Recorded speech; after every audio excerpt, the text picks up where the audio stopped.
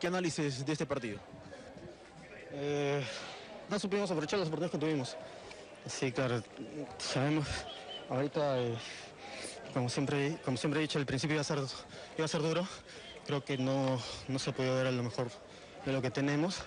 Y por eso mismo, cada oportunidad que tienes tienes que hacerla, ¿no? Tuvimos tres, cuatro clarísimas. Ahora, eh, estos equipos que vienen a replegarse con este orden que hay que reconocer en Galvez, eh, ¿siempre van a ser los rivales más complicados, Reiner?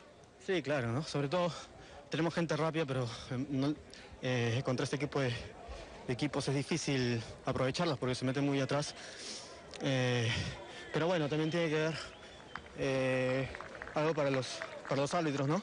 Que están pegando mucho a los, a los jóvenes que tienen 17 años, lo quieren, los quieren asustar de esa forma pegándoles y creo que, deberían ahí poner un poco más de mano dura.